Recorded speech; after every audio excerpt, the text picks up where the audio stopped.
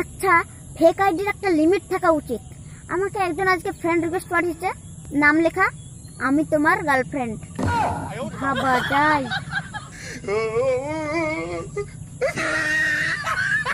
Shopping মলে গিয়ে কিছু কিনুক আর না কিনুক। একটা ছবি তুলবেই ফেসবুকে আপলোড দেওয়ার জন্য।